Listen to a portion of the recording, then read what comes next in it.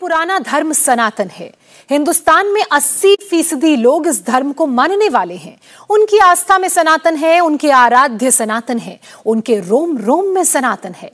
और इसी सनातन को एक नेता ने बीमारी कह दिया। वो भी डेंगू, मलेरिया, कोरोना जैसी खतरनाक बीमारी। उस नेता ने सनातन को खत्म कर देने की बात कही। ये नेता तमिलनाडु के मुख्यमंत्री एम के स्टालिन का बेटा है। डीएमके आईएनडीआई अलायंस की का अहम पार्टनर है। वैसे ये बयान तो दक्षिण से आया, लेकिन पूरा उत्तर भारत उबल गया। 23 और 24 के इलेक्शन का टेम्परेचर देखा जाने लगा। सनातन के अपमान का क्या आने वाली सियासत पर असर होगा? क्या सनातन विरोधी बयान के पीछे नॉर्थ साउथ की विभाजनकारी सियासत है? सच क्या है? आप हमारी इस रिपोर्ट के ज़रिए समझिए। सनातन क्या है? क्या नरेंद्र मोदी सनातनी हैं? क्या राहुल गांधी सनातनी नहीं है? नीतीश कुमार अखिलेश यादव जो खुद को हिंदू कहते हैं, क्या वो सनातनी नहीं है? क्या प्रियंका गांधी कमलनाथ मंदिर जाते हैं, क्या वो सनातनी नहीं है? कौन सनातनी है, कौन सनातनी नहीं है? सनातन का अस्तित्व होना चाहिए या नहीं होना चाहिए? ये बात क्यों उठी है? ये विमर्श क्यों हो रहा है वो इसलिए क्योंकि इंडिया अलायंस के कुछ नेताओं की ओर से सनातन पर जो टिप्पणी की गई है उसी से विवाद खड़ा हो गया है போட்டிருக்கிறீர்கள் இதை அழைத்திருக்கிறீர்கள் இந்த நிகழ்ச்சிக்கு பெயர்ந்தது அதற்கு என்னுடைய வாழ்த்துக்கள் சிலவற்றை வந்து நாம் ஒழிக்கத்தான் வேண்டும் எதிர்க்க முடியாது கொசு டெங்கு காய்ச்சல் மலேரியா கொரோனா இதையெல்லாம் வந்து நம்ம எதிர்க்கக்கூடாது ஒழித்து கட்ட வேண்டும் அப்படிதான் இந்த சனாதனம். சனாதனம் என்பதை எதிர்ப்பதை விட ஒழிப்பதே நாம் செய்ய வேண்டிய முதல் காரியமாகும். எனவே இந்த மாநாட்டிற்கு மிக பொருத்தமான தலைப்பு வைத்திருக்கிறீர்கள். அதற்கு என்னுடைய பாராட்டுகள். சனாதனம்னா என்ன? சனாதனம் அப்படிங்கிற பெயரு சமஸ்கிருதத்திலிருந்து வந்ததுதான். சனாதனம் சமத்துவத்திற்கும் சமூக நீதிக்கும் எதிரானது. उदय निधि मारन तमिलनाडु के मुख्यमंत्री स्टैलिन के बेटे हैं। सनातन पर इन्हीं के ज्ञान पर विवाद खड़ा हो गया है। लेकिन उदय निधि अब तक अपनी बात पर कायम है। मतलब सनातन डेंगू, मलेरिया, कोरोना जैसी बीमारी है, जिसका खात्मा होना चाहिए। इंडिया अलायंस का सनातन ये है। उदयनिधि ने एक लाइन खींची तो कांग्रेस के कार्ति चिदम्बरम उसे और आगे लेकर चले गए। नई परिभाषा बताई। सनातन धर्म और कुछ नहीं, जातियों में विभाजित समाज है, अभिशाप है। इंडिया अलायंस में कांग्रेस के नेता की तरफ़ से सनातन की यह व्याख्या है।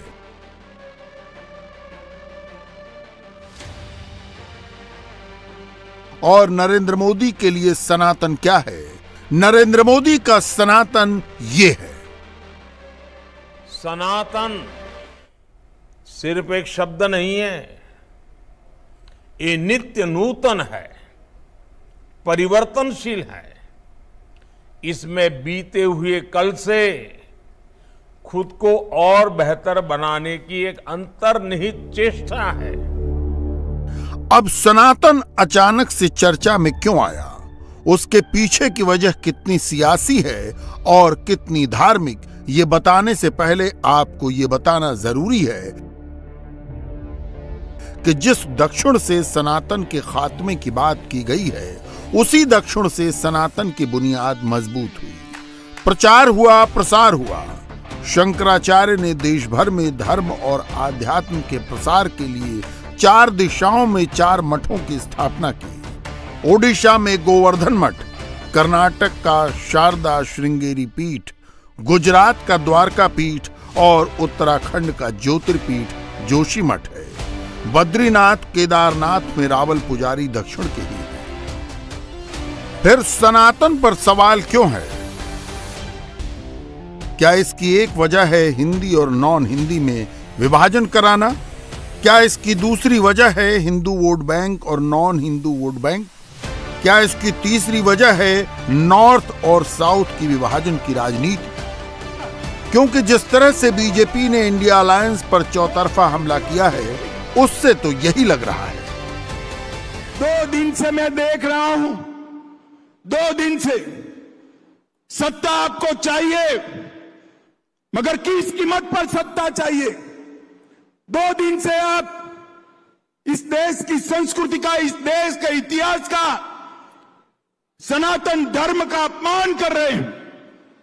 इंडी अलायंस के दो प्रमुख दल, डीएमके और कांग्रेस पार्टी, इनके बड़े नेता, एक वित्त मंत्री का बेटा और एक मुख्यमंत्री का बेटा, वो कह रहे हैं, सनातन धर्म को समाप्त कर देना चाहिए।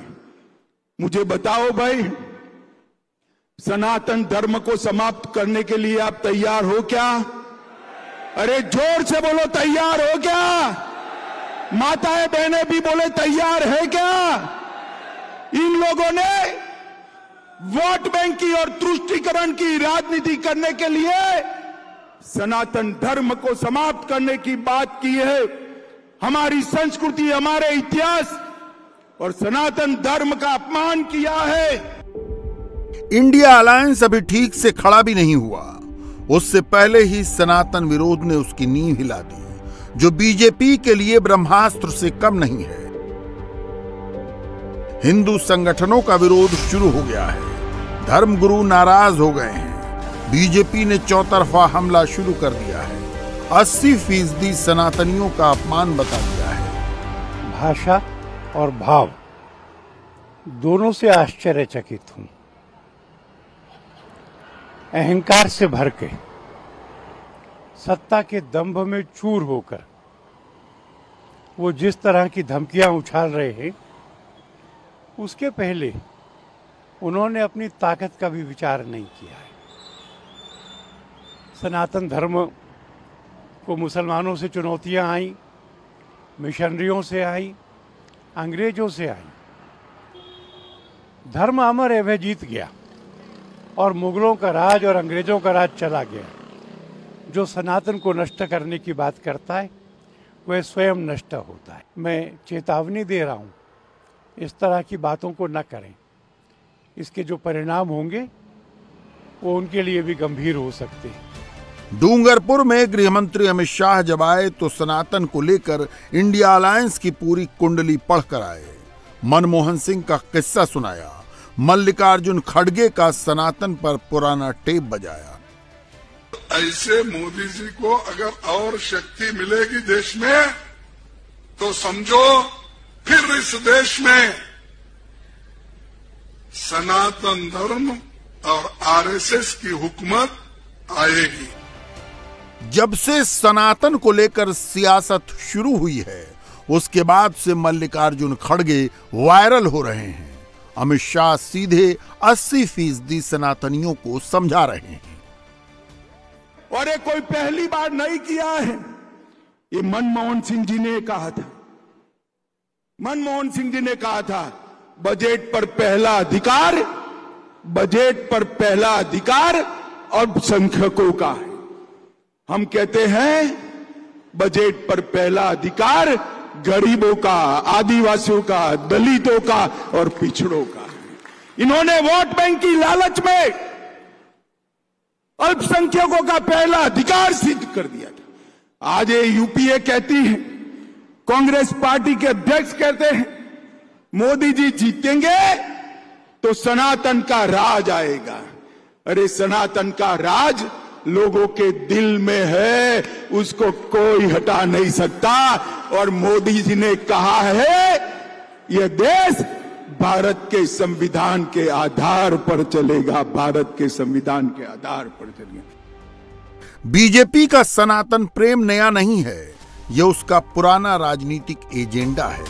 लेकिन सवाल है कि इस वक्त बीजेपी सनातन के नारे पर इतना ज़ोर क्यों दे रही है? उसकी वजह भी जान लीजिए।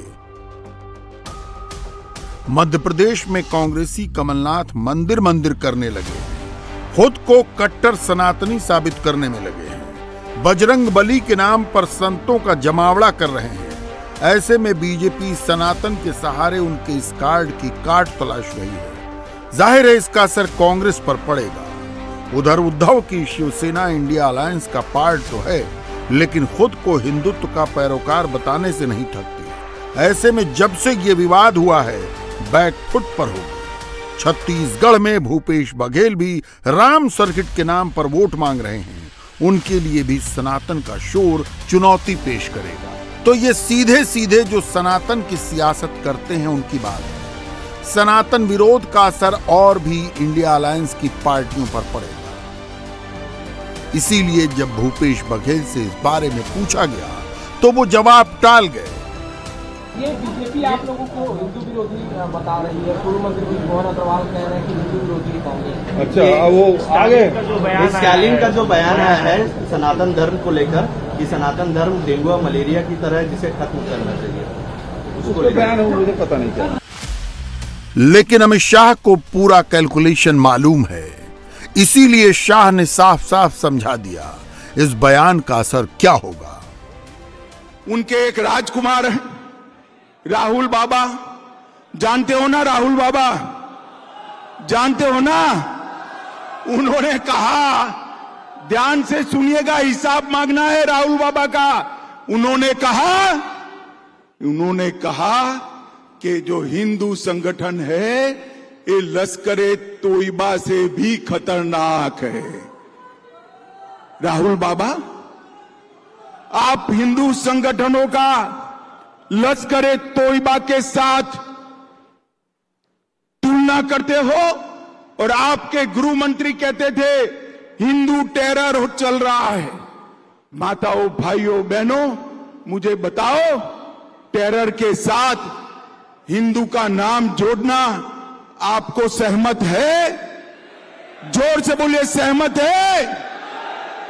ये इंडी अलायंस, एक गठबंधन गठबंधन गमंडिया गठबंधन, वोट बैंक की राजनीति करने के लिए, तुष्टिकरण की राजनीति करने के लिए किसी भी स्तर पर जा सकते हैं। मगर अब मैं उनको कहने आया हूँ, जितना आप बोलोगे, उतने ही कम होते जाओगे। 2014 में थे 19 में उससे भी कम हुए और अब ये शुरू किया है सनातन धर्म के खिलाफ आलाप। 2024 में दूरबीन लेकर भी दिखाई नहीं पड़ोगे दूरबीन लेकर भी दिखाई 80 फ़ीसदी वोट की कहानी है। कट्टर हिंदुत्व है वो सनातनी है। सनातन पर शुद्ध तनातनी है। सनातन धर्म कभी मिटेगा ही नहीं। क्योंकि जो जन्म लेता है वो मिटता है।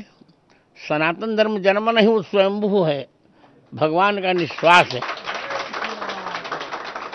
सनातन धर्म को मिटाने वाले ही मिट जाएँगे। सनातन धर्म को डेंगू मलेरिया ये ये कहा जा रहा है। भाग्य कह रहा हूँ। सनातन धर्म ही एक ऐसा है बेटी जहाँ पर नारी को माँ माना जाता है।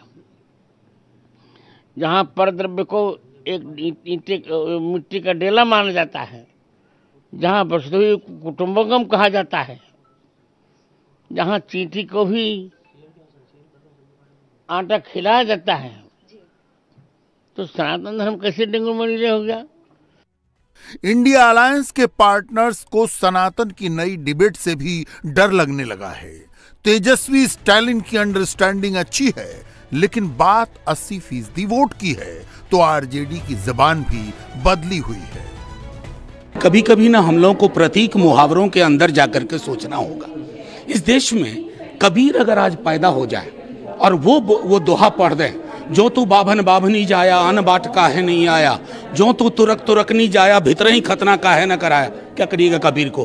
फांसी पे लटका दीजिएगा। एक हिंदुस्तान का एक मिजाज रहा है। कई लोगों की सनातन में कई सारी विकृतियाँ हैं। क्या जाति व्यवस्था अच्छी चीज़ है? क्यों उसी वर्म उतरने वाले की जाति नहीं बदलती है? ये सारे सवाल हैं। अगर किसी ने कुछ कह दिया तो लेके उड़ गए। अब सनातन की डिबेट से साउथ में बहुत ज़्यादा फ़र्क नहीं पड़ेगा। इंडिया टीवी हर वक्त हर जगह। डाउनलोड करने के लिए सर्च करें India TV news Google Play Store या एप स्टोर पर।